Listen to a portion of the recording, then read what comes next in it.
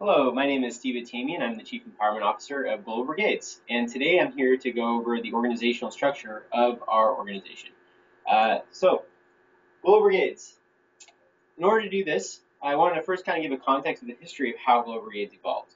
Um, so, Global Brigades actually started with Global Brigades in Honduras, and but more specifically, uh, we started as a branch, as a department of Sociedad Amigos de los Niños. For four or five years, from 2002 to 2007, we operated as a department within their organization, helping run their medical brigades. Uh, Sociedad Amigos de los Niños is a very reputable Honduran nonprofit. It's raised more than 40,000 Honduran children uh, and also ran uh, medical relief work in the communities. One of those children was one of the other co-founders of Global Brigades, um, Kike Rodriguez, uh, who set up that department within uh, Sociedad and eventually split off to become Global Brigades in Honduras, the nonprofit. So how we started uh, some of the first groups for Global Brigades came from the USA. Uh, Marquette University, USC, uh, University of Michigan. These first few groups basically set up fund, uh, bank accounts from their university, mobilized students, uh, and sent the money directly down to that department of Sociedad de los Niños in Honduras. Uh, but after a few years of operating like this and pressure from not only the donors for people that want to get tax receipts for making these contributions for the medical work that we were doing, uh, universities for wanting to create uh, a professional legal entity established in the United States that was taking responsibility for all the things that were happening in the country. Uh, and then also from an accounting and professional perspective to make sure that uh, we are keeping uh, track of those funds in the United States and that we are professionally growing the organization and, and holding and being accountable for uh, what is happening on the ground. So we, in 2007, 2008, we registered as Global Brigades Inc., but later become Global Brigades USA, uh, which uh, it, which we received our 501c3 nonprofit status the year later uh, in 2008, and we started collecting funds from all of uh, the, the students across the United States into one bank account, sharing one 501c3 status, which is really, really critical when you look at the evolution of our organization. Uh, we leveraged the technology to do that. We leveraged uh, empower.org and we leveraged just this idea of creating all of our chapters and putting them under one technological roof and under one social networking site uh, so that they could reach out to their donors. Um, the funds would go to the chapters um, from a digital perspective, but we, it ultimately was going to our registered 501c3. And what's different about that model versus other organizations is that other organizations, without naming names, have uh, you know the blank chapter of Los Angeles, the blank chapter of New York, the blank chapter of Vancouver. Each uh, each of those may have their a separate uh, 501c3 status or charitable status. Well, the Vancouver one would be a Canadian one, but the the LA and the New York chapters would have their own uh, their own chapters, their own 501c3s, which would require their own audits, which would require their own accounting teams, which would require their own administrative teams, their own operations, their own executive directors. And this is the trend that most nonprofits that over the last, the most large institutional, larger nonprofits over the last, that have established themselves over the last hundred years in the United States operate under.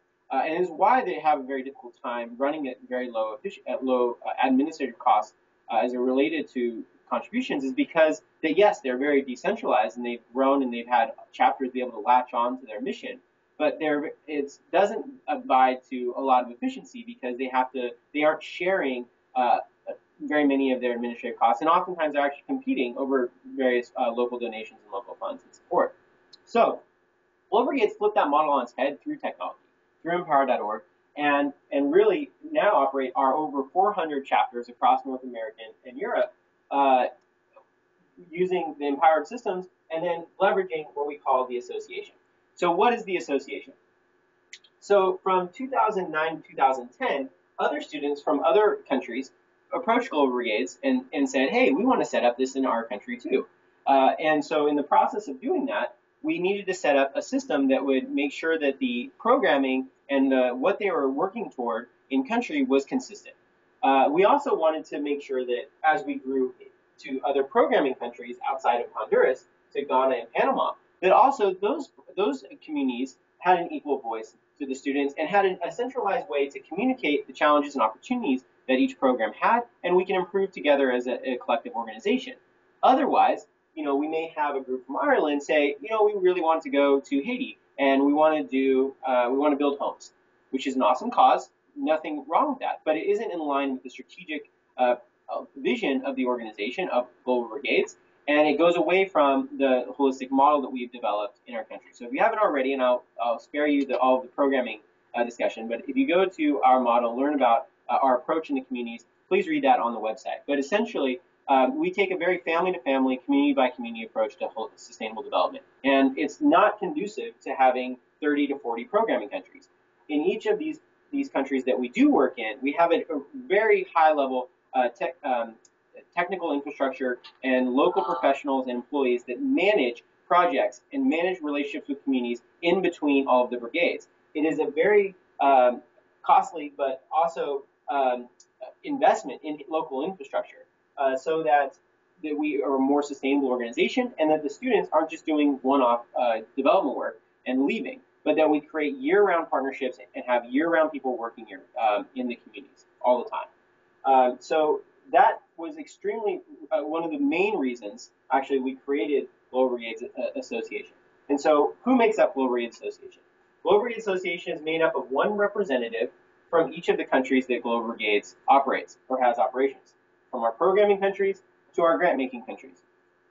And uh, most of them, of which, especially in North America and Europe, are made up of, of students. They each have uh, Canada, UK, Ireland, Switzerland, Germany, and the US each have their independent board of directors.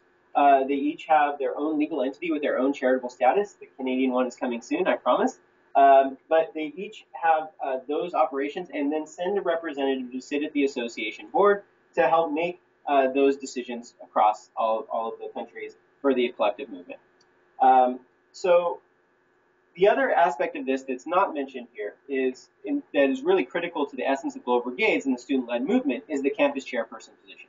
The campus chairperson people are uh, elected representatives from each of the universities Global Brigades has that help make those programmatic decisions and votes. So that any resolution that and any uh, new direction or strategy that the association comes up with must be voted on also by the campus chair people and so that, that those students have an opportunity to provide feedback on the programming uh, before we implement it and further adapt it to the communities and get the community buy-in. Um, so the likewise, the chair people can also propose uh, ideas to the association or to the respective entities for us to come. So it's a two-way it's a two-way street. So either the association or uh, an idea may come out of the Panama office. So, so give an example. Um, say the Panama team wants to change environmental brigades uh, to really focusing on permaculture instead of doing uh, latrines. They would come up with the idea, they would present it to the association. The association would potentially pass that board, then they would pass it on to the campus chair people. The campus chair people would approve, and it would get implemented into the, into the communities. Vice versa, a campus, uh, one of the medical brigades uh, chapters at Penn State may say, you know what, we have this really great idea of how to improving medical brigades.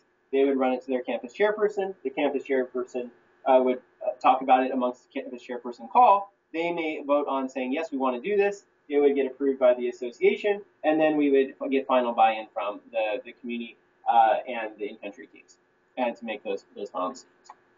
So that's how decisions get made within Global Brigades. Uh, and that's how we engage the campus chair people and the students and community members in making those joint, uh, joint things together. So one of the really unique things about Global Brigades and why we can choose to make decisions like this and make decisions like this is that we don't have any outside institution coming in and telling us how to operate our movement. Uh, it's nearly entirely funded by students uh, from North America and Europe that are contributing to these projects that we're doing uh, overseas in, in, in, our programming country. Therefore, all of the decisions that we make, we only really have two main stakeholders. We have the community members and we have the students.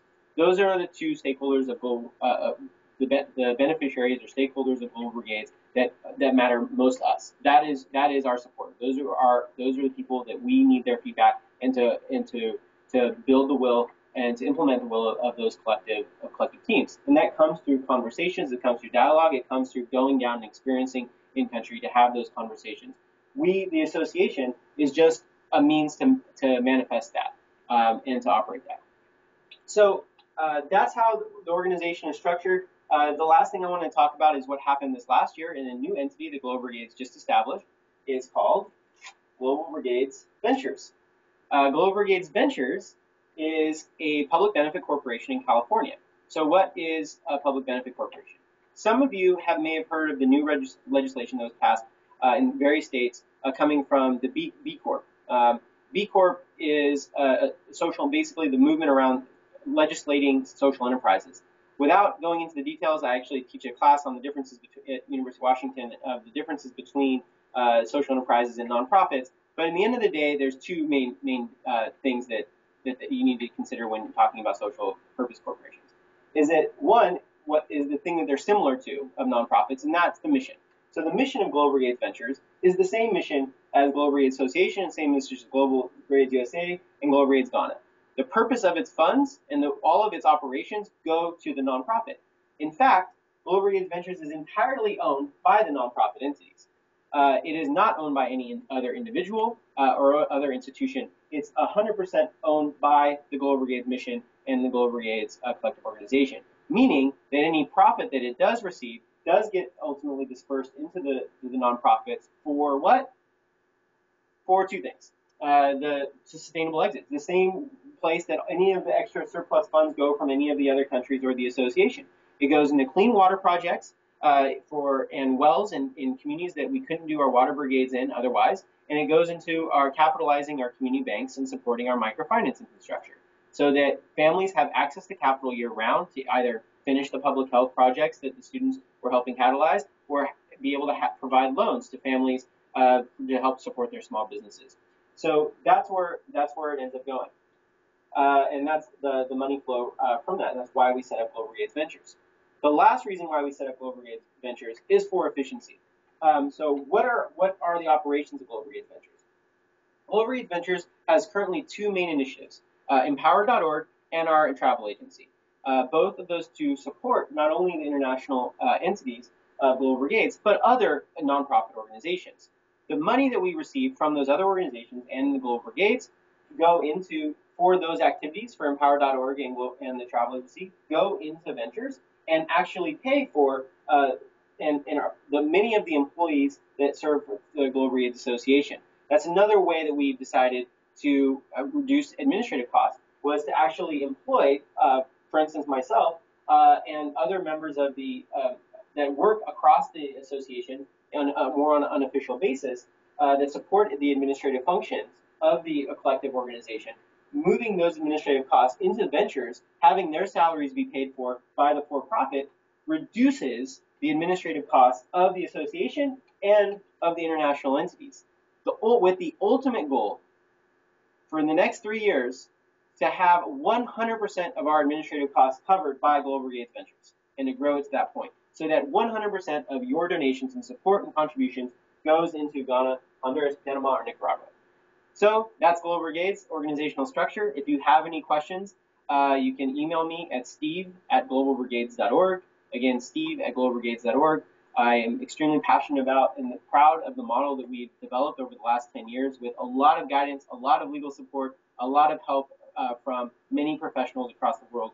Uh, it's a very sophisticated model for a student-led movement, but it's something that we're extremely proud of and something that has created a level of, of efficiency that is really unseen uh, within the international nonprofit community.